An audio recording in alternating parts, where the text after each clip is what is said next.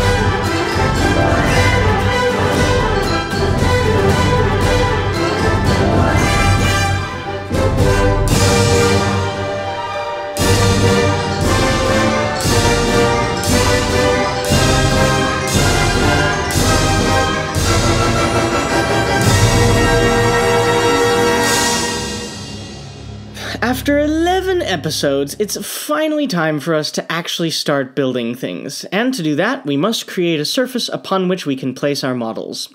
Benchwork is one of the most important parts of a model railroad as it supports your layout. Parts include the support system, frame, sub-roadbed, and layout surface. The support system is very simple, usually either legs or some sort of wall mount. They should be able to support the railroad, the scenery, and part of your weight, but shouldn't necessarily be overbuilt as to preclude under layout storage and access. The frame sits on top of the legs and is basically what all train related parts are in some way affixed to. The frame is best visualized as a form of stud wall on its side, sans sheetrock. The outside of the frame is usually attached to fascia, which is a nice presentation surface equivalent in function to a picture frame, thereby hiding the dimensional lumber and layout uglies behind it. The sub-roadbed is what you lay the track on.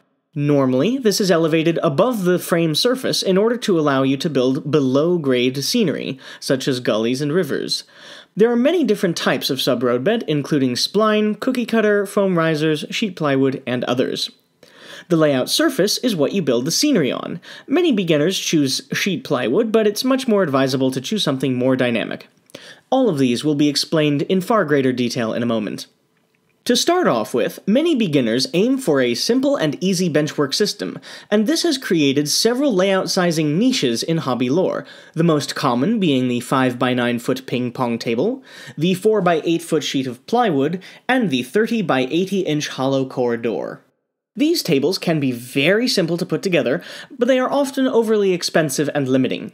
Nowadays, nearly all modelers opt to build their own layout substructure de novo, as this allows you to build a layout of any size you want and build it to fit your space.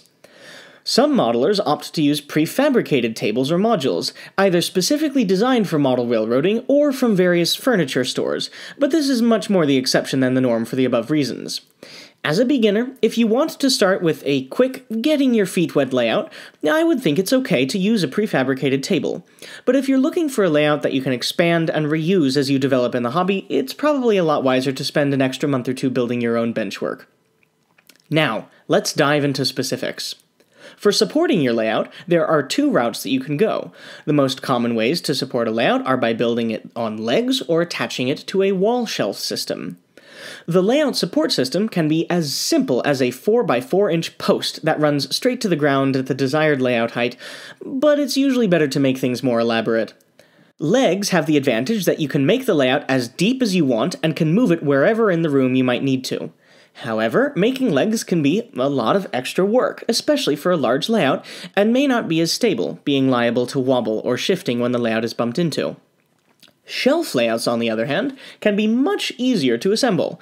All you need to do is buy a track shelving system from a hardware store, affix it to wall studs, put on the shelf brackets, and glue or screw the layout frame to the brackets.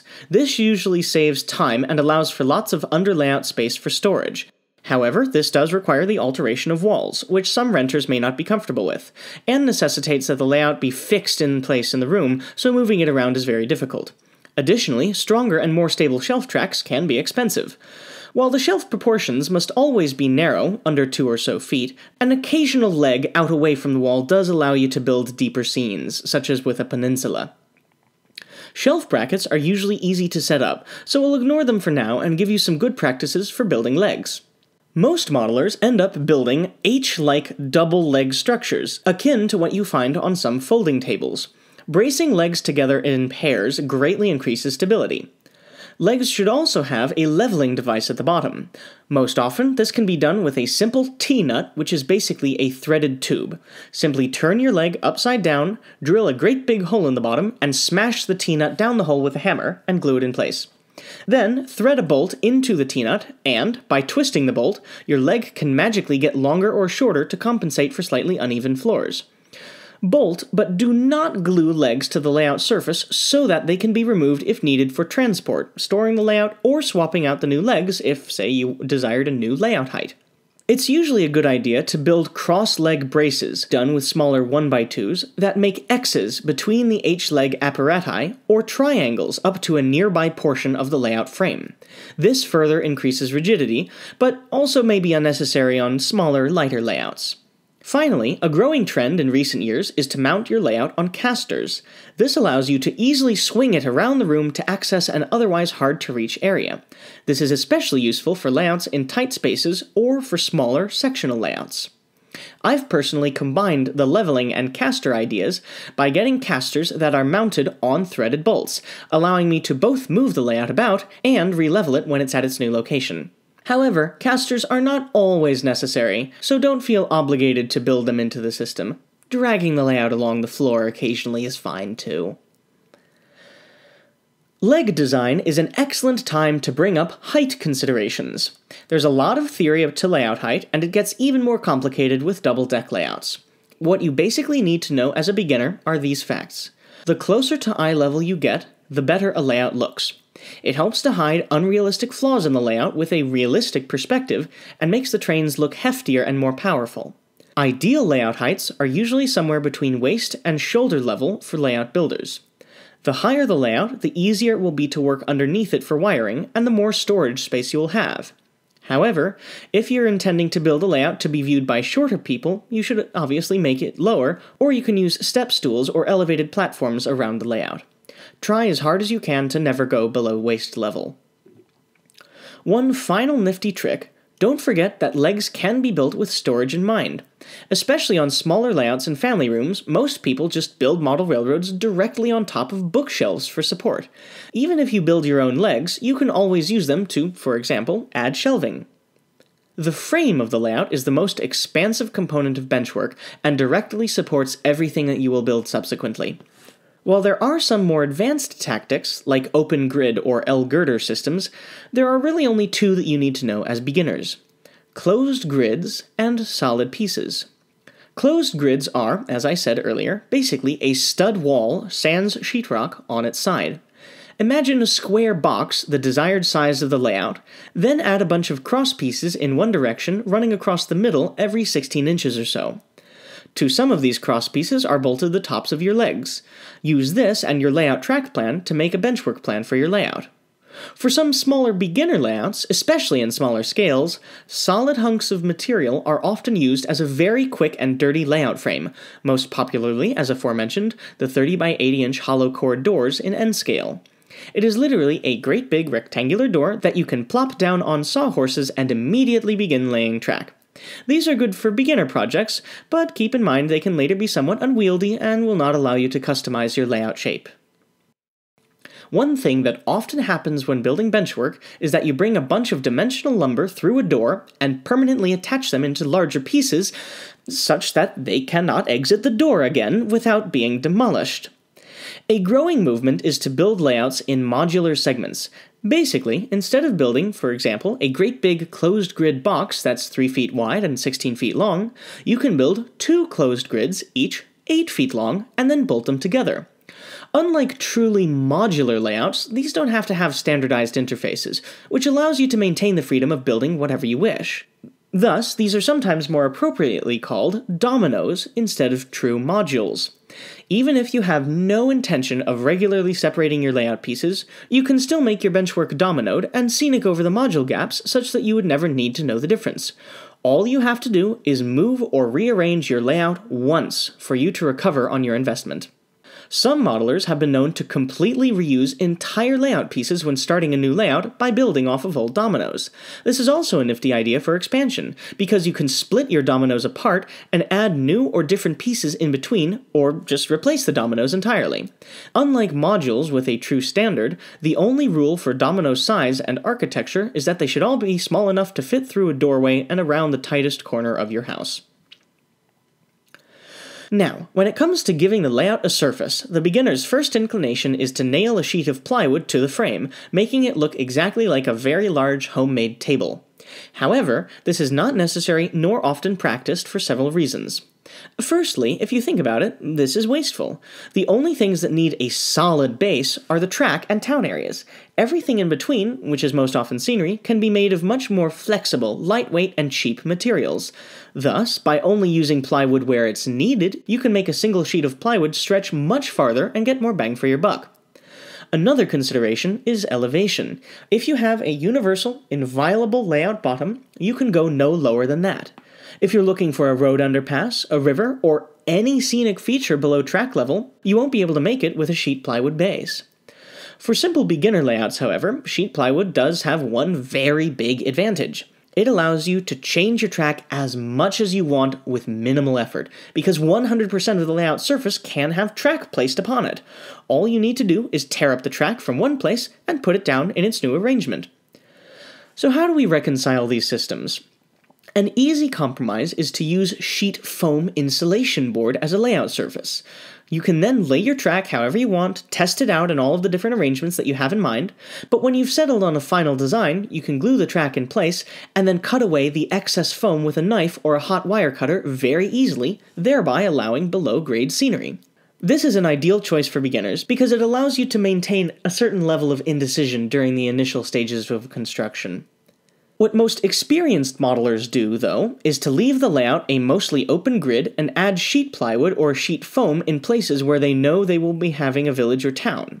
Later, during scenery, they cover the gaps in the rest of the layout with their preferred method of landforming. This method may sound somewhat complicated, but it's versatile and saves a ton of money, especially on larger layouts.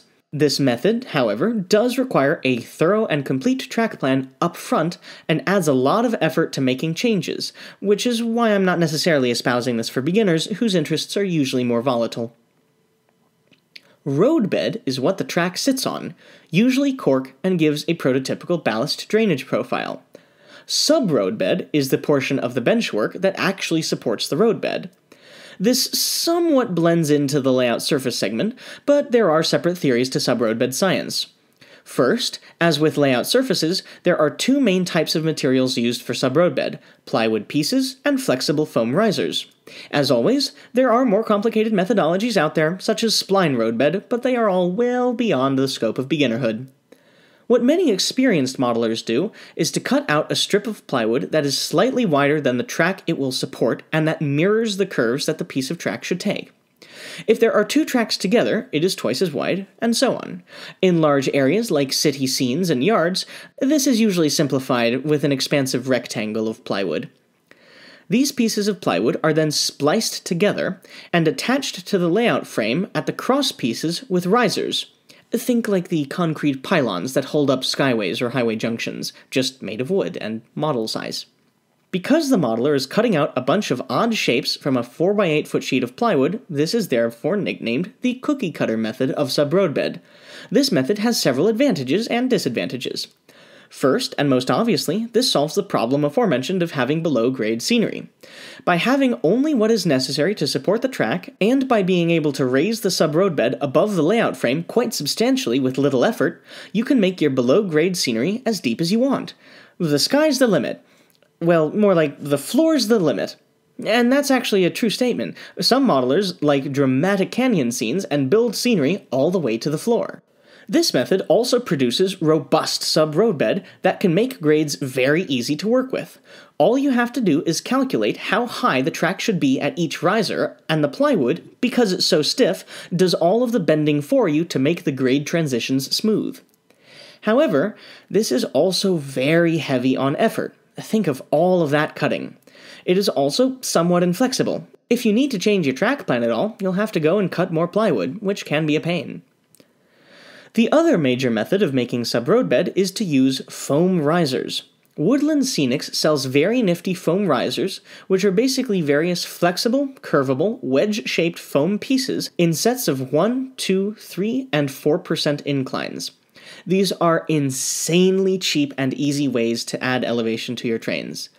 In part because the risers also have flat planes that can hold elevation in addition to the wedges that raise and lower elevation, I recommend these to beginners for their great simplicity. The one thing I caution against is that their use can sometimes lead to vertical kinks, so you might want to go over the finely glued pieces with a sanding block to smooth things over a bit before you start laying track. Now, a very important step before you start building benchwork, you have to make a blueprint. Start with the track plan that you made a few episodes ago. Examine how the track fits into your room and the shape of the layout board and surface. Place a piece of grid paper of the same scale over the track plan and trace out the shape of the underlying layout onto the new sheet, and then photocopy this multiple times. Alternatively, if you're just using a software copy and paste, you know what I mean. Examine the layout shape and see if you can break it down into multiple sections or dominoes. Again, not every layout has to be modular, but it is highly advantageous to build your layout in sections. To each domino, see if you can design a grid or prison bar like design with cross pieces about 16 to 20 inches apart, and put legs every 4 to 6 feet. Draw up a design for the legs facing sideways as opposed to the vertical plan of the benchwork grid. Once you have your blueprint, label each length and don't forget to account for the width and depth of the wood. For example, say we are building a box that is 28 inches square and made of 1x3s. Uh, due to the compression process used in drying wood, 1x3s have an actual dimension of 2.25 by 0.75 inches. So in our box of 28 inches square, the wood must overlap on the edges. Thus, the two longer sides will be a true 28 inches, but the other two lengths of wood will actually be 26.5 inches, because they both sit inside of the 28 inch pieces, and each 28 inch piece has a width of 0.75 inches, which, multiplied by 2, is 1.5, which, subtracted by 28, is 26.5. Then, tally up all of the pieces of each wood type, both lumber dimensions and cut length, Take this list and arrange the pieces together to sum up to 8 or 10 foot lengths, which are the most common lengths that dimensional lumber is sold in. The way that I usually do this is to write down every length of lumber that my blueprint calls for in decreasing size, including duplicates. Then I start with a full sized length of dimensional lumber and start subtracting from it the largest lengths of wood that I need on down. For example, say I will be buying a 10 foot piece of lumber, which is 120 inches. Looking down at my list, the longest piece of wood that I need is 88 inches, which gives me 32 inches remaining. Going back to the list, the next size piece of lumber that I need under 32 inches is 20, which will give me 12 inches remaining. According to my list, the final length of wood that I could squeeze from this piece would be 8 inches. You should use these calculations to make cutting maps. In this example, I would set aside one 10 foot length of lumber to be cut into lengths of 88, 32, 20, and 8 inches, with 4 inches left over as a scrap piece. Repeat this until all of the lengths of lumber that you need for your benchwork have been accounted for, and this method will give you the number of pieces of lumber you should buy, as well as the most efficient way to cut them. Once you have all of this planning out of the way, you can count up the number of lengths of wood of each dimension that you need, go to the lumberyard, and acquire them. As aforementioned in other episodes, I usually get all of my lumber cut at this stage. Even if you don't intend to do this, however, always have a complete and comprehensively annotated benchwork plan prior to construction, as, if done well, this will allow you to very rapidly put the benchwork of a small layout together in a single weekend's worth of effort. Now that you know all of the parts and methods of building benchwork, here are some tips for building and planning it. First off, don't overbuild. For many model railroads, you can make everything that you need from 1x3s or smaller. Also, don't be afraid to use math. While very few of us enjoy math, including myself, the scientist, you aren't in the middle of a timed exam, so you can take your time to slowly work through the numbers and make sure that they are right. As I mentioned above, lumber dimensions aren't real. 1x3s aren't actually 1 by 3, they are 2.5 by 0.75 inches. When you're planning your benchwork, you can look up your chosen lumber dimensions online and use their sizings. When you're cutting your pieces of wood, keep hold of all the scraps, especially those longer than a foot, as they can come in handy later for small projects if you need to redo something. Now that you have a complete idea of how to design benchwork, we need to get into the minutiae of actually constructing it. As I mentioned in the last episode, these are the types of woodworking tools you will need. Wood glue, a saw, a drill with drill bits, screws, a tape measure, and probably a hammer and pliers or a wrench. I will now explain the nuances of each. Contrary to popular belief, screws and nails don't actually hold the wood together. The vast majority of the strength of benchwork comes from the wood glue, and you should never ever rely on screws or nails alone. In fact, since I've had so much pushback on this idea, you can test the theory for yourself at home. Take four pieces of wood and screw two together without glue, then glue the other two together without screws, just making sure that the glued only pieces are adequately clamped together during the drying period. Come back the next morning and try to pry the pieces apart. The glue-only pieces should be very difficult to part, and will act like a normally made wood joint. The screw-only pieces, however, will splinter around the intrusions or will bend the screws. Now, even if this isn't true, it's still a lot easier to bend the screw only wood, which is bad for model railroading because benchwork is supposed to be as rigid and stable as possible to prevent cracking of the layout surface. Thus, you should always use wood glue on every single joint in benchwork, except, of course, those that are meant to come apart. In order to apply wood glue, first test fit the two pieces together and drill any necessary pilot holes for your screw. Then apply a light bead of wood glue down the length of the joint before screwing or nailing the pieces together. Make sure not to use too much wood glue as it will spooge out the joint and get everything very messy. Keep in mind that, eponymously, wood glue works best on wood-to-wood -wood joints. If you need to affix wood to something else, like metal, a different type of glue will be required. If you plan all of your lumber cuts ahead of time, as do I, you can have all of your lumber cut at the lumberyard, usually for a small fee of 25 cents per cut or so. I much prefer making the cuts at the site of purchase because, in addition to making assembly at home much faster, it usually also makes it a lot easier to fit the lumber into my car.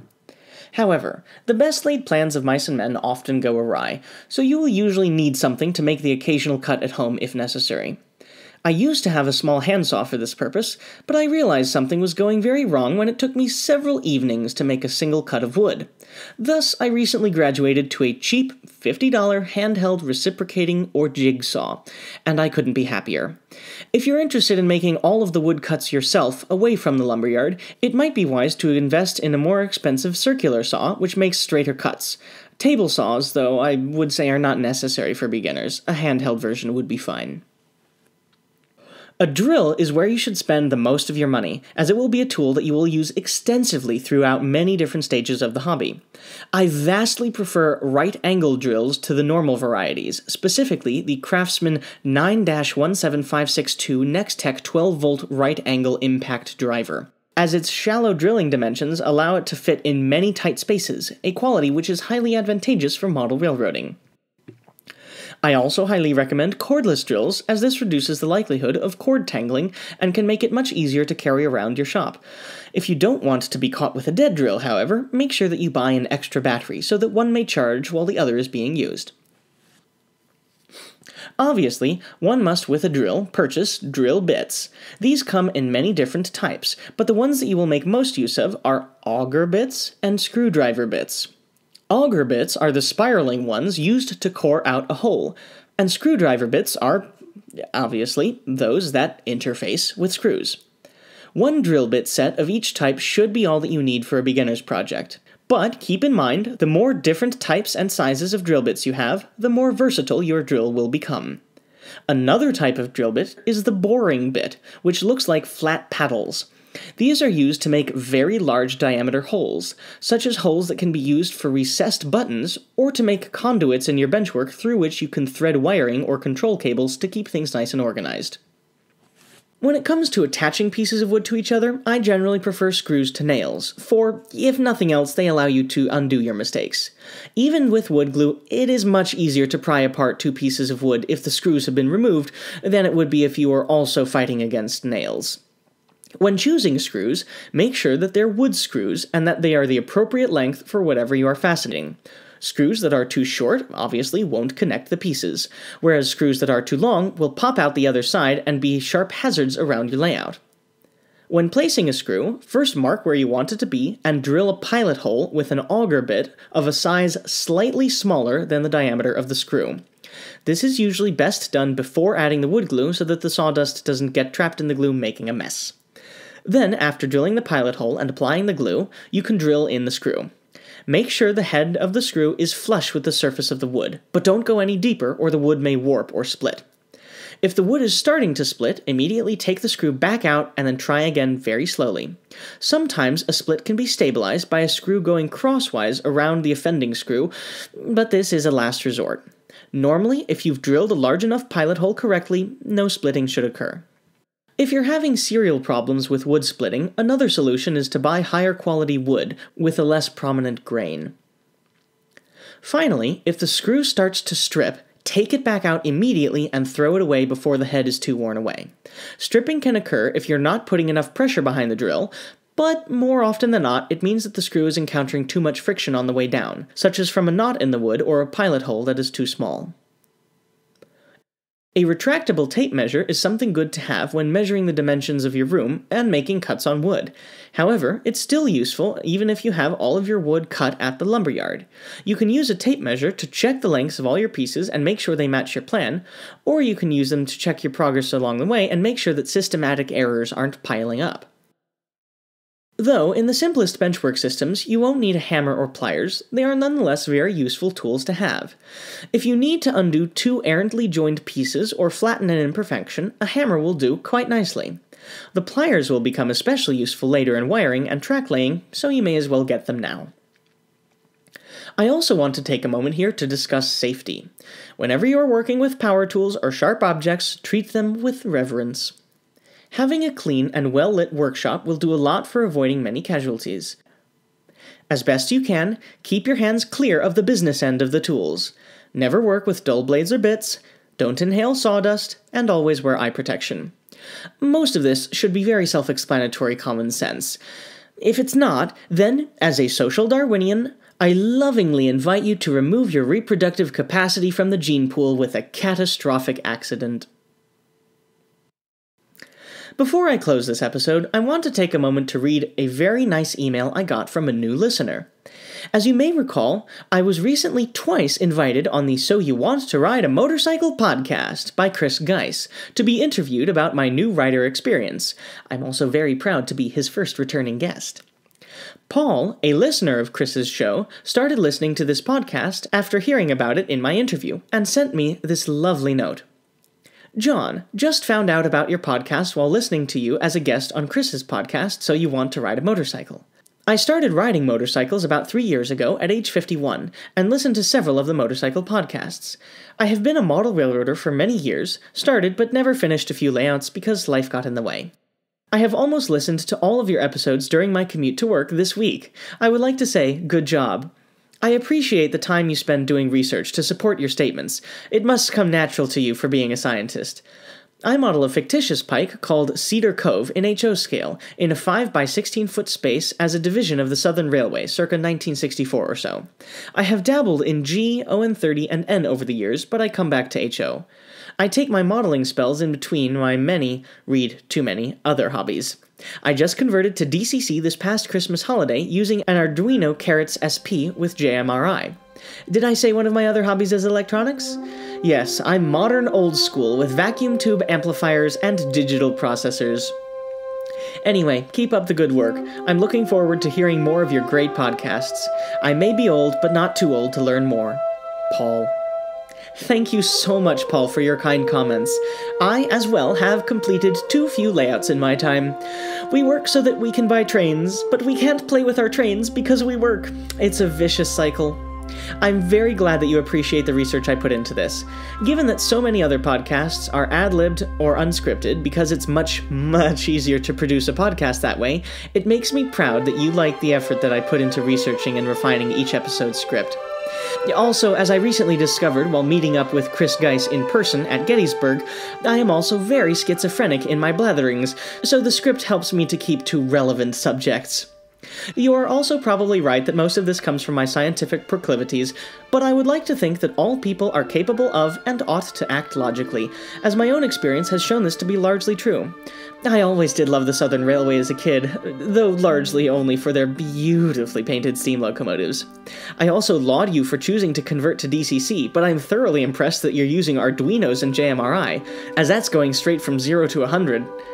I guess it pays to have other related hobbies and experience as well. I bid you luck, sir, in your endeavors. Thank you again, Paul, for listening.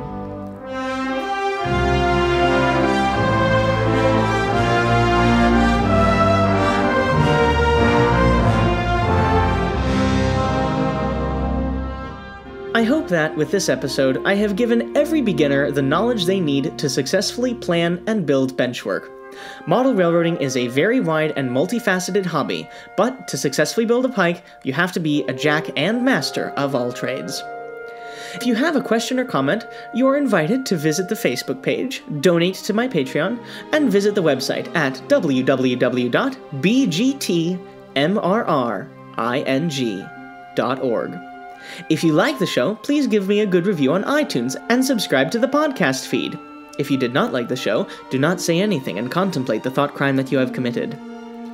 And now, your reward for listening through my closing spiel, your modeler's vocabulary word for this episode is Indian Valley Railroad. Noun. An imaginary railroad, the quintessence of perfection. Quote, at the end of the rainbow, unquote. Possibly, but not likely, named for one of the several real life Indian Valley Railroads. Thank you so much for listening, and happy modeling!